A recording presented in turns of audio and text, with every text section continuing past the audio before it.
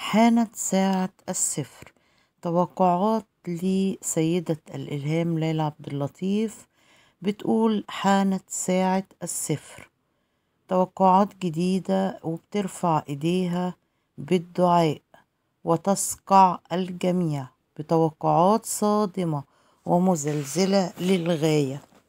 لم تكن أبدا في الحسبان وبتقول هذا ما سيحدث بعد أيام.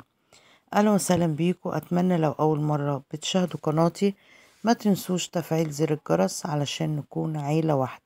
لو عجبكم الفيديو ما تبخلوش بالدعم باللايك. توقعات السيدة ليلى عبد اللطيف سيدة الإلهام عبر قناتها الشخصية على موقع الفيديوهات يوتيوب.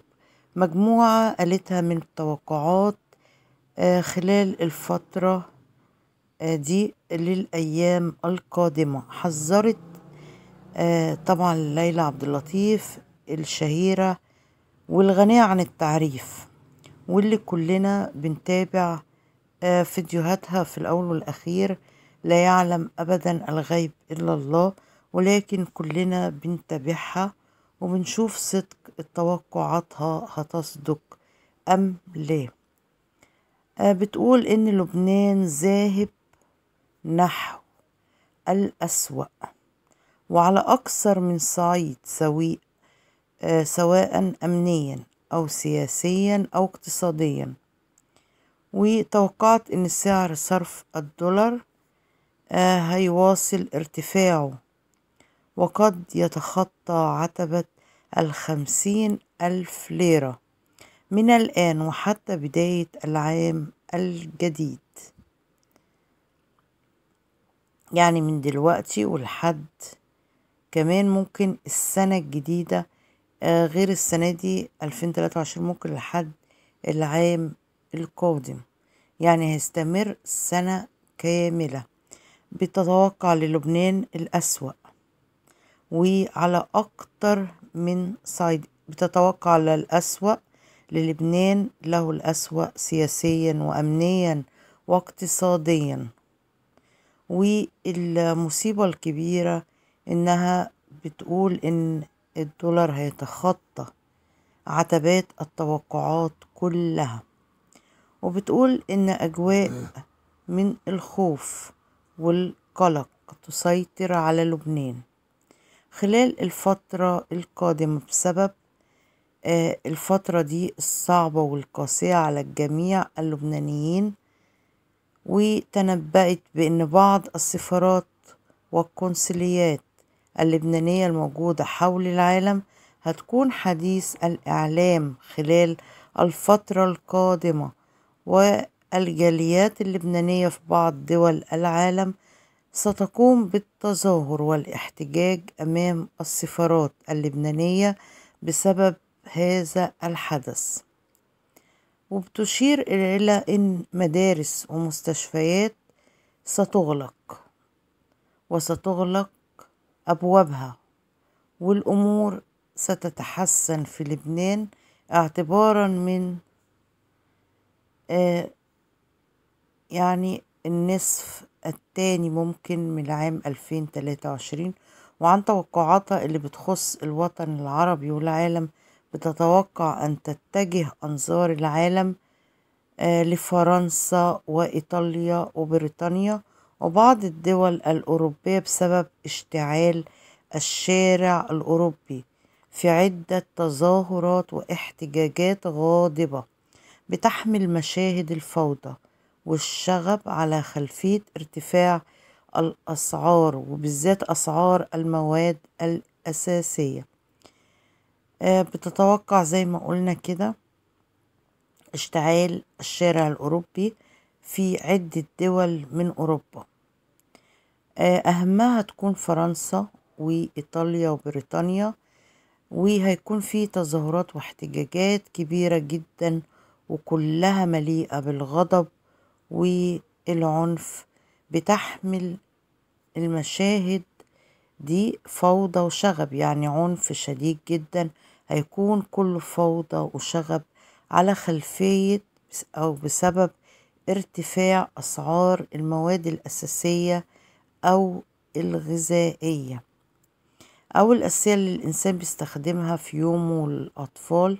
وبتتوقع أن تخيم أجواء حرب في قارة أوروبا وأن يتكرر سيناريو آه، آه، سيناريو يعني اللي حصل العام الماضي يعني الحرب الدائرة هيتكرر أيضا في العام ده في أوروبا وبالذات في دول أفريقية وأسيوية وحذرت انتشار أنواع غريبة من الحشرات آه، هتظهر بالإضافة لظهور حشرة بتشبه النحلة لحد كبير هتغزو الحشرات دي عدة دول عربية. هي شبه النحلة ولكنها غريبة. هتغزو عدة دول عربية وأجنبية زي الهند وباكستان وأفريقيا وأفغانستان والصين ودول أخرى. وبتقول إن الحشرة دي هتشكل خطر كبير جدا على شعوب الدول دي. وهيتبين إن المخلوقات آه، الحيوانية الشرسة مصابة بفيروس قاتل وغريب يجعل منها حيوانات خطيرة هتهاجم بعض المناطق القريبة من الغابات وهتشكل تهديد للبشر آه يعني زي قتل البشر. آه كانت توقعات صادمة جدا لليلى عبد اللطيف.